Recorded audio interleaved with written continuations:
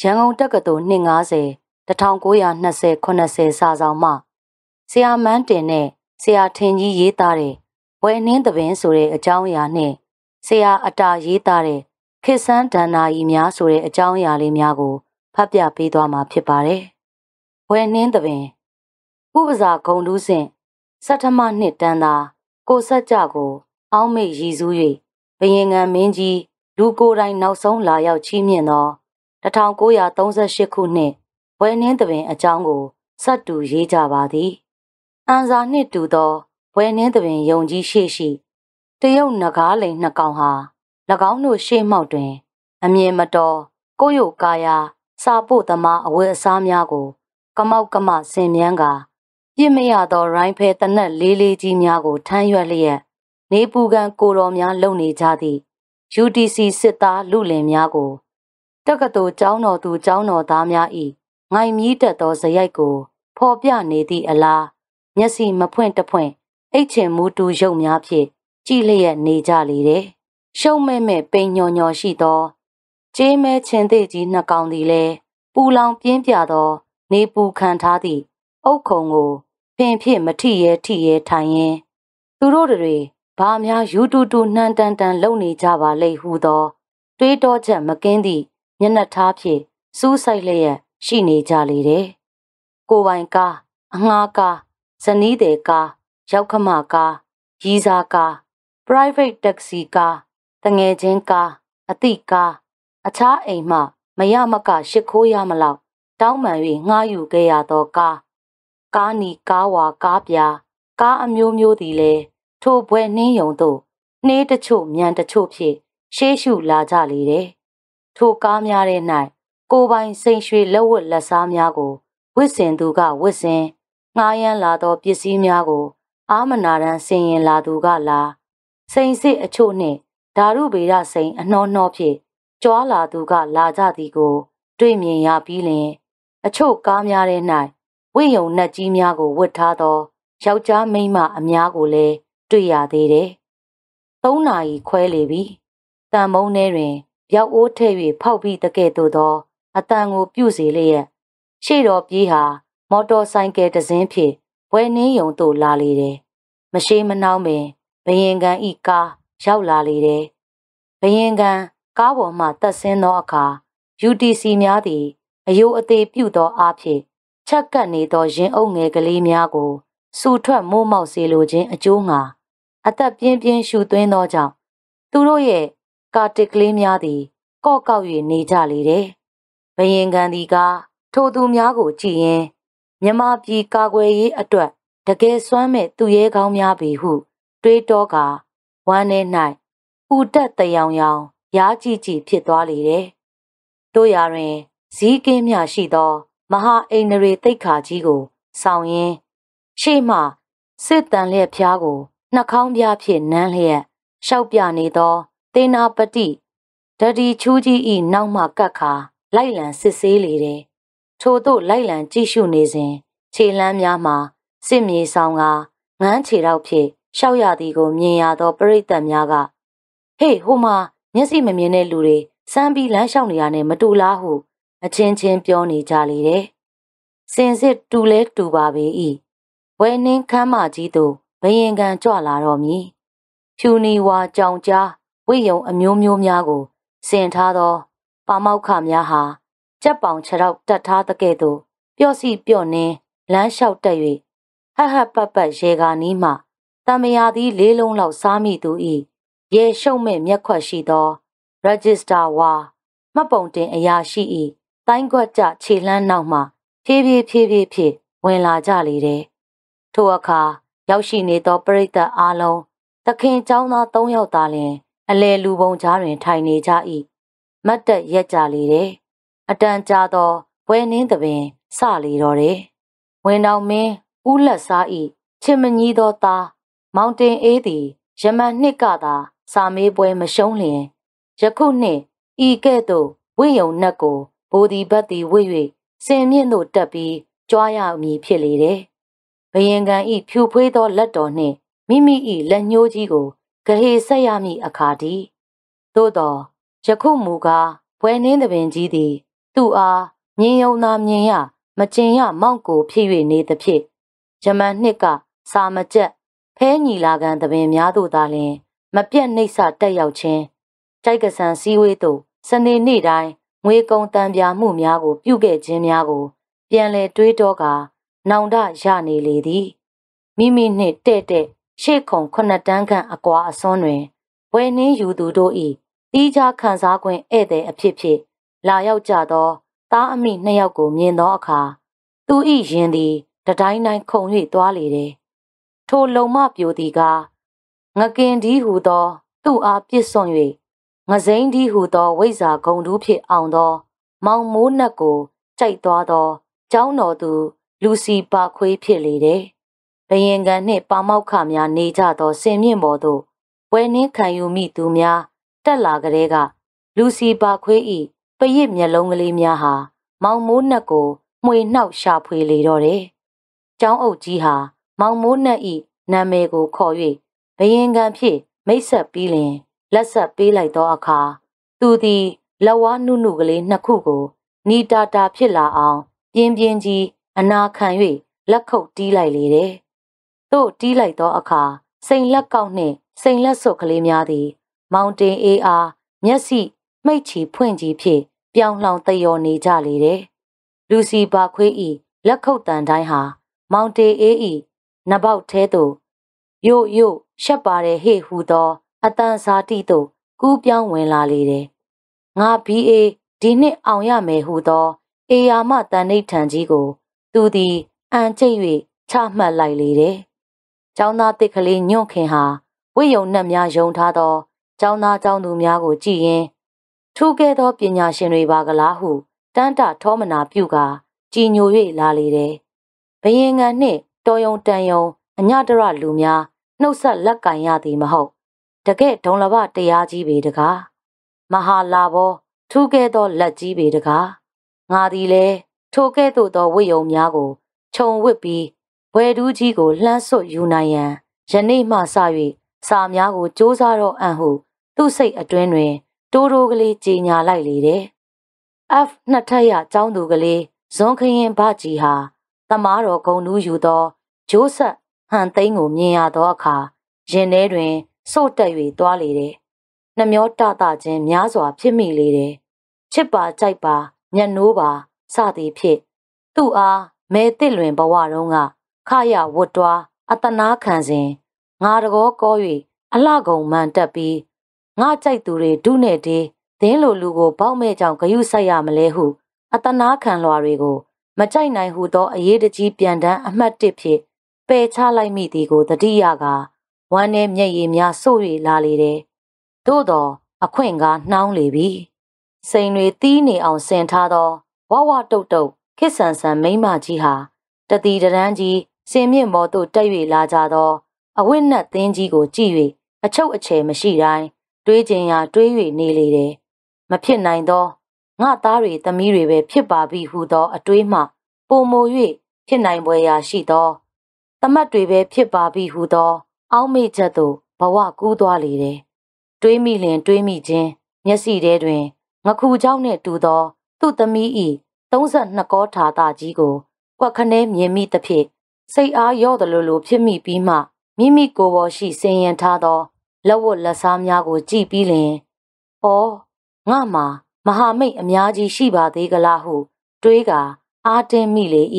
။ခြေတော်နှစ်ချောင်းဖြင့်ရှေ့ကလထိုင်ကိုကန်တွန်းရင်းတင်ထွန်းသည်လက်ဝါးပူဆက်အောင်လက်ခုပ်တဖြောင်းဖြောင်းတီး၍နေလေတယ်။ဝယ်နှင်းသပင်ကြီးအစောတလင်ပြီးပါစေဟု အတွင်သာဆုတောင်းလျက်နေလေတယ်။သူသည် လက်ခုပ်တီးတိုင်းတငယ်ချင်းဝိဇ္ဇရိုများ၏စေရနာသုံးနံပြထမ်း၍မဟာဒါနစတုဒေတာအငယ်စားကလေးပြုမိအရေးကို တွေး၍စိတ်ပြန့်လွင့်လျက်ရှိလေတယ်။ဘယင်ငံနှင့်တကွဖြူနီကြောင်ကြားဝိယုံများနှင့်ပါမောက်ခများကိုလည်းသူမမြင်ဒုတိယအဓိပတိမဟနေသော မိန်ကုန်းများကိုလည်းသူမကြားဖောင်းရှူးဟုသောဘီယာပလင်းစော်ရာပလင်းပေါက်တံများဟိုတယ်ဒေဝီများ၏ ချိုအေးတာယာလှစွာသောအတန်ပကံတန်ဇွန်တန်ခရင်တန်တူတန်များကိုသာကြားယောင်၍နေလေတယ်။ပါဇက်နီနီပအုပ်ရဲရဲကလေးများနှင့် လုံမပြိုကလေးများဟာသူ့အပားတွင်ခစားကဝတ်သားကြော်ဘတ်များကို ကနုတန်နှစ်ချောင်းဖြင့်ဗဇက်ပေါက်အရောက်ခွန့်ပေးမိအရေးကိုတွေးကာပီတိမီတာတွေတက်လျက်ရှိလေတယ်။ဒုတိယအဓိပတိကြီးသည်လည်းရှေးလျားလှစွာသော လဲဘိန်းကြီးစီမရှိတကဲ့သို့သောတအီအီမိန်ကုန်းကိုအိတ်ချင်စပွဲကောင်းအောင်ဟောပြောလျက်ရှိလေတယ်။ကြွလာသူပရိသတ်သည်လည်းမိမိအတွေးဖြင့်မိမိစိတ်ကူးလှေလော်လျက်ရှိကြလေတယ်။အင်မတန်အင်မတန်ကြီးကြာညောင်းလေပြီးမှ မိန်ကွန်းကြီးပြီးဆုံးလေတော့တယ်။အိမ်ငိုက်ကြရာမှ အနိုးလက်ခုပ်တီးကြသည်တွင် တင်ထွန်းဤလက်ခုပ်တန်ဟာအကျယ်လောင်ဆုံးအပေါ်လွင်ဆုံးဖြစ်၍သူဤမျက်နာသည် အရွှင်ဆုံးဖြစ်လေတယ်။ပွဲနှင်းပွဲကြီးပြီးစီးသွားလေ၏။အိုက်လျက်နှင့်ကြွားဝါလူသဖြင့်ဝစ်စင်ကလမ်းတလားနေကြသောပါမောက်ခအချို့နှင့်ဝိဇာမဟာဝိဇာပူပူနွေးနွေးကလေးများမှာဝိယုံကြီးများကိုတရွတ်ဆွဲကာအတိတ်ပဲမရှိလှသောလက်ဆွဲနှုတ်ဆက်ခြင်းအမှုကို အချင်းချင်းပြု၍ဘွယ်နှင်းယုံတဝိုက်တွင် မောင်ထင်ပေါ်မဲထင်ပေါ်အဖြစ်ဖြစ်အသားယူလျက်ရှိကြလေတယ်။ ကျောင်းသားကျောင်းသူများလည်းအသီးသီးကျောင်းဆောင်များသို့ပြန်မြန်းကြလေ၏။ဧည့်သည်များလည်းပြန်ကြွကြလေ၏။ထိုအချိန်တွင် မှောင်စပြုလေပြီ။ဘာတီခိုးလိုဟုအတန်နှက်ကြီးဖြင့်ကျောင်းသားတစ်တူဤအခန်းမှကြားရပြီးနောက်ဟေ့ဒရဝံဘတ်တီခိုးလိုဂျယ်တီဟူသော တောင်းခံလျက်အော်တန်ကို F3 ဆင့်ရကျောင်းသားတူဤအခန်းမှကြားရပြန်လေတယ်။ ကျောင်းသားတစ်ဟာမီးရောင်ထိန်ထိန်အောက်တွင်ဆွဲမြဲစိတ်ဝင်စားစွာ အင်္ဂလိပ်ဖတ်စာစာအုပ်တအုပ်ကိုဖတ်လျက်ရှိလေတယ်။ F ဘွဲရကျောင်းသားမှာရာဇဝင်စာအုပ်ကြီးတအုပ်ဤအဖုံးမော်၌မှုတ်တက်နေသည်ကို သူ့လုံကြီးစားဖြင့်ပို့တုံလျက်ရှိတယ်။မိမဆောင်မှဒေစီဘာကွန်သည်လည်းစာအုပ်ကြားတွင်ဝှက်ထားသောဓာတ်ပုံတစ်ပုံကို ထုတ်ခါမှုေးလိုက်လေတယ်။ပြီးမှလိပ်ပြမလုံသဖြင့်တောင်ကြည့်မြောက်ကြည့်ကြည့်က လူသူမမြင်မှဒုတိယမိမှုေးလိုက်ပြီးလင် လောချစ်စာအုပ်ကိုကောက်ယူ၍တတွတ်တွတ်ဖြင့်ဖတ်ကြက်နေလေတယ်။၁၇နာရီခွဲလေပြီ။ကျောင်းဆောင်များရှိဓမီများညှိလေတော့တယ်။ဒေစီဤအခန်းသည်၎င်းကျောင်းသားတစ်ညွန့်ခင်ဤအခန်းသည်၎င်း F ကျောင်းသားဤအခန်းသည်၎င်းဖျောင်းနိုင်မီအစွမ်းအားဖြင့်မိတ်တုံမိတ်တုံဖြစ်နေတော့ဤသူတို့ကစာချက်မလျော့ကြသေးပေ မန်းတင်ထင်ကြီးဆရာအတာရေးသားတဲ့ခေဆန်းဒန္နာကြီးများဆိုတဲ့အကြောင်းအရာလေးကိုဆက်လက်ဖတ်ပြပေးသွားမှာဖြစ်ပါတယ်ခေဆန်းဒန္နာကြီးများရွှေယုံနဲ့ရွှေကြားတက်ကဲရိတ်သွားအဆရှိသောဒန္နာကြီးမျိုးကိုထက်ခါတလဲလဲကြားရပံများ၍ညီးငွေစပြုလာသောကလေးများအဖို့ခင်မိအောင်ရေးသောဒန္နာကြီးများဖြစ်သည်ကလေးတငယ်များနားလည်နိုင်စေရန်ဥပဒေတပါထည့်သွင်းဖော်ပြပါသည် ဏီဒန်းအောက်တွင်ဖော်ပြသောလက်နှစ်သစ်ကြော်ကြော်ရှိပေထသောခေဆန်းဒန္နာကြီးများကိုဏီဒန်းရေးရာ၌လောကတွင်ခတ်တီတီယူကြသော အလုတ်များအနက်အလွန်ထူးသောယူခြင်းဟု ဆိုရပေမယ်သို့သောစင်စစ်၌ကမထူးချေစာတထွားကိုဏီဒန်းတလန်ရေးလေရှိခြင်းဟာဤပြည်၌ဘာကြီးမှိုင်းထိုပြည်၌ဘားနဲ့ရှောတို့ကိုကြည်ခြင်းဖြင့်မထူးဆန်းကြောင်းထင်ရှားပေတယ် တသက်နဲ့တကူဤအောက်တွင်ဖော်ပြသောနှလက်မှသာရေးဘူးသော စာရေးဆရာကြီးဦးအတာကနေရာတကာဝင်၍ဆရာလှုပ်ချင်တယ်လို့အပြောခံရသောကျွန်ုပ်အားဏီဒန်းရေးစေရာကျွန်ုပ်သည်ရှောရှောရှူရှူသဘောတူကရုတ်ချီဤဏိဒန်းကို ရေးရပါတော့သည်ဟုလို့မြမများသည် ရှေးတုံးကမိမိတို့ဤကလေးတငယ်တို့အားညညကြလင် ပုံပြောလိရှိတယ်ယခုခေတ်၌က ကလေးများကို9နာရီခွဲဘိုက်စကုတ်ကိုခေါ်သွားလေရှိတယ်ရွှေယုံနဲ့ရွှေကြားဟာဗမာဒန္နာကြီးတွင် အလွန်နာမည်အရဆုံးအသည့်အ ਨੇ ဆုံးဒန္နာကြီးဖြစ်တယ်ထိုဒန္နာကြီးများကိုယခုခေတ်မိခင်များဟာသူတို့ရဲ့ကလေးများကို မပြောတတ်ကြတော့ချေသူတို့သည်ဤဒန္နာကြီးများကို မမှတ်မိမသိရှိကြငယ်စဉ်ကလေးကကွန်ဗင့်နှင့်အင်္ဂလိပ်ကျောင်းများ၌နေရသည်သာများသဖြင့် ရုပ်ရှင်သွားတတ်တယ်ပီယာနိုတီးတတ်တယ်ချစ်စရာကောင်းလှသောအတိတ်ပဲအပေါ်ယံ၌မရှိညာလဲအတွင်းအတိတ်ပဲကျွဲလှသောဒန္နာကြီးများကိုကဂယုမထားမသိရှိကြချေဒန္နာကြီးခေဟာခေမစားတော်လဲပြောင်းလဲသွားတယ်ရွှေယုံရွှေကြားခစ်မှသည် အပါပုံပြောမယ်ဦးလေးနားထောင်ခစ်သို့လှမ်းခဲ့တယ်ထိုနောက်၌ဖော်ပြသောဒဏ္ဍာရီကလေးများသည်ဇဝနာ၏အုံနောက်မှပေါက်ဖွာလာသော ကြီးပွားရေးဥလှကဥယျင်မှုလောက်ရသောဒဏ္ဍာရီများဖြစ်ကြပေတယ်ထိုဒဏ္ဍာရီများအပြင်ညိုမြရေးသောဒနရှင်ကြီးသတင်းစာဆရာနှင့်လူပြိန်းဘိုးရှင်ကောင်နှင့်စင်ရဲသားစသည့်ရုရှားလူမျိုးစာရေးဆရာကြီးရှက်ဒရင်ဤဒဏ္ဍာရီများကိုဘာသာပြန်ချက်များမှတဆင့်ဤမည်သော အတာဤအင်္ဂလိပ်မူရင်းမှ တိတ်တိတ်ပုံခိုး၍သူ့ညံနှင့်ကွန့်ထားသောဒဏ္ဍာရီများသို့ ရောက်ရှိလာလေပြီထိုဒဏ္ဍာရီများမှတဆင့်ကဘာကြီးပျက်စီးလူနီးပြီလောဟုအော်ရမည်ပုံနောက်ထပ်၍ဘာဒဏ္ဍာရီများလာအောင်မည်ကို အသက်အောင်၍စောင့်ရချေအောင်တော်မူစားပြောင်းသည် လူအပေါင်းတို့အားရင်ဘတ်ကိုခြေနှင့်ကန်၍စာတင်ပေးသည်နှင့်တူပေသည်ဒဏ္ဍာရီသည် စာပြောင်တို့တွင် အလွန်တာသွားသော စာမျိုးဖြစ်သည့်အပြင်စာရေးဆရာဟာမိမိကိုမထိခိုက်စေဘဲ ယူကျင်နိုင်ယူနိုင်တယ်စာဖတ်သူတို့အားလည်းကန်ကျင်နိုင်ကန်နိုင်တယ်သို့တော့အတော်စာဖတ်သူသည်ဦးကြောင်ကြောင်ဒဏ္ဍာရီတို့ကိုဖတ်ပြီးရဲလိုကားရဲမီဖြစ်တော်လဲရင်အောင်ကြမည်မဟုတ်ပေဝါစာကြီးနံပါတ်1ဇီးကွက်ဒဏ္ဍာရီအခါတပါဗလာကိုဒီဖြစ်သောကပလီလူမျိုးတဦးဤကိုရောင်ကိုဖြောက်ပစ်နိုင်သောညတည၌ဇီးကွက်ကြီးတကောင်ဟာ ညောင်ကိုင်းတကိုင်းပေါ်၌ထိုင်၍နေသည်ထိုအခါပွေးကလေးနှစ်ကောင်ဟာတစ်ပင်နားမှမတိမတာဖြတ်တန်းသွားကြတယ်ဟေ့ဟုဇီးကွက်ကြီးကအာနာတန်ပါပါနဲ့អော်လိုက်တယ်ထိုကဲ့သို့မှောင်မိုက်လှသောည၌တဦးကိုတဦးမမြင်နိုင်ဟုမှတ်ထင်ခဲ့သောပွေးကောင်ကလေးများမှာအတော်ပင်အံ့ဩသွားကြကာဘသူကိုပြောတာလဲဟုကြောက်လန့်တကြားပြန်မေးလိုက်တယ်မင်းတို့နှစ်ကောင်ဟု ဇီးကွက်ကြီးကခန့်ညားစွာ ဖြေချလိုက်လျင်ပင်ပွေးကောင်ကလေးများမှာ နောက်ထပ်စကကြောမရှိဝွန့်တုတ်ချေတင်တော့တယ်ရောက်လီရာအရက်တိုင်းလှဲနေလှေအောင်ငင်းဆောင်မကြံရှိရှိသမျှတရိษံအပေါင်းတို့အားဇီးကွက်ကြီးသည်မှောင်မိုက်အတွင်းသို့ဖောက်ထွင်းမြင်နိုင်တယ်မေးသမျှမေးခွန်းတို့ကိုဖြေနိုင်တယ်ထို့ကြောင့်တရိษံများထဲတွင်ဉာဏ်ပညာအကြီးကျယ်ဆုံးဖြစ်သည်ဟု လိုက်လံကြေညာကြကုန်တယ်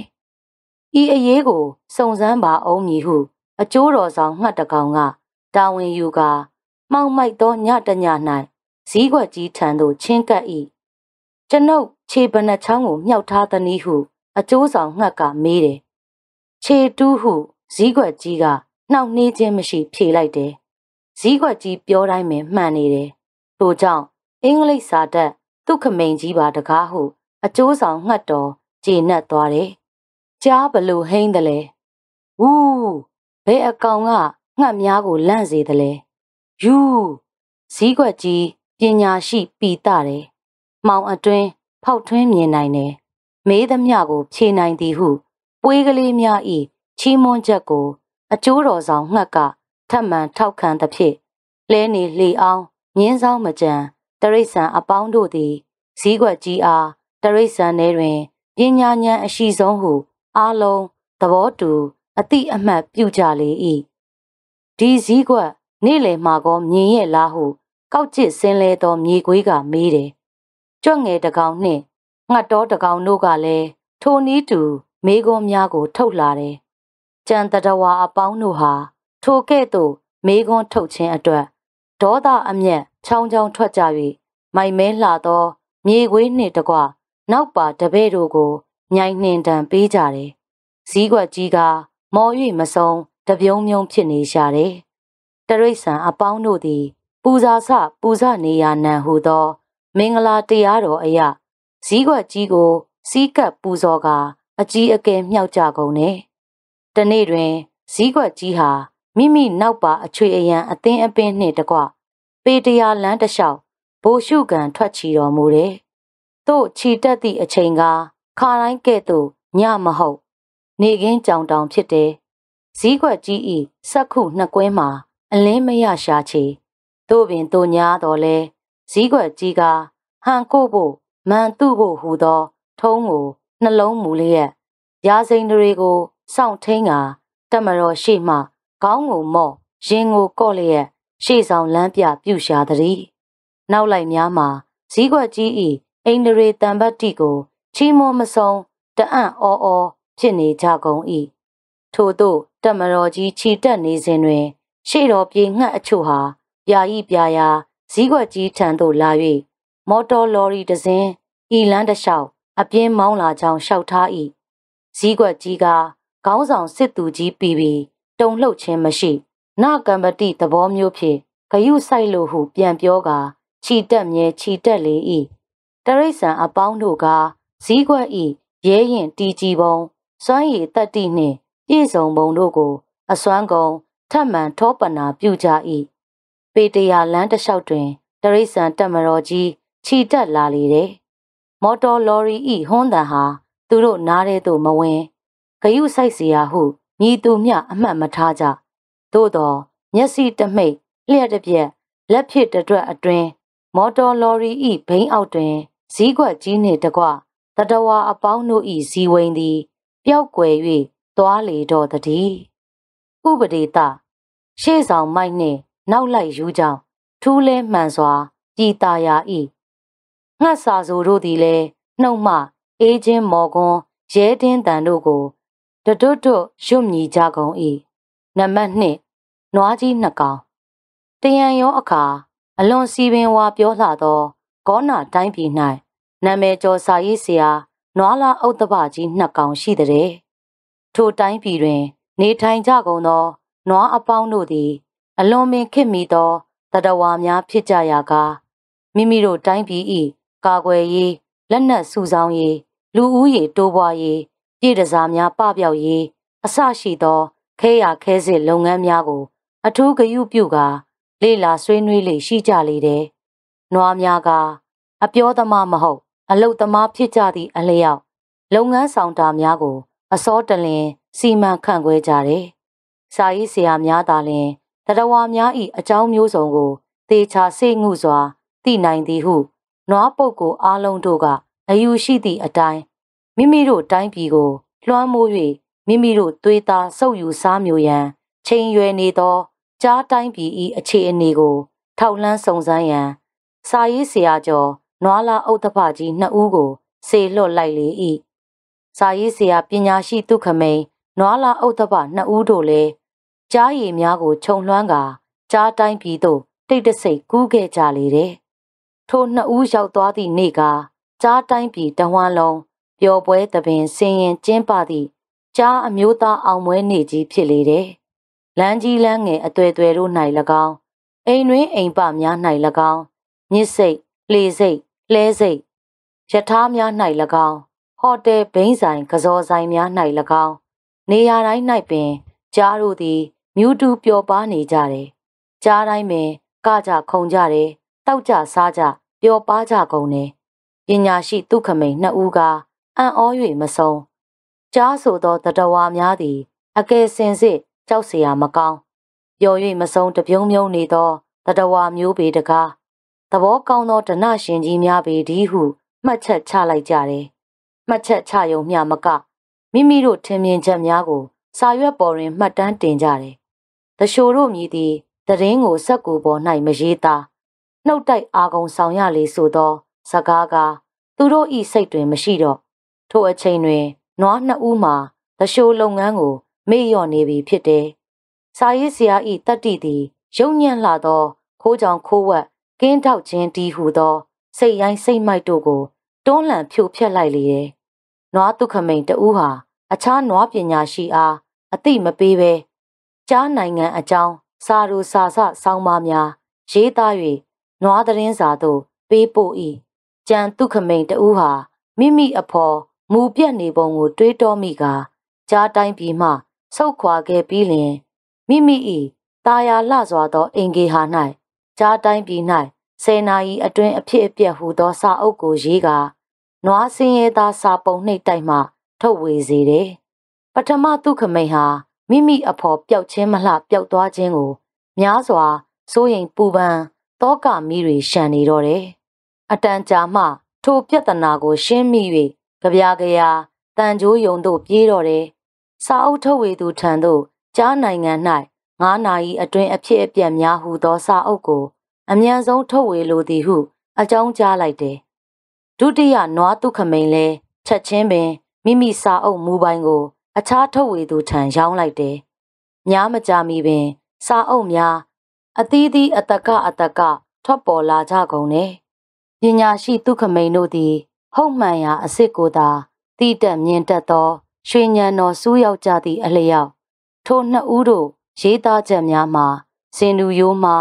တလေတန်နဲ့ထွက်လာကြတယ်။ကြားများသည်နွားများနှင့်အလွန်တူကြောင်း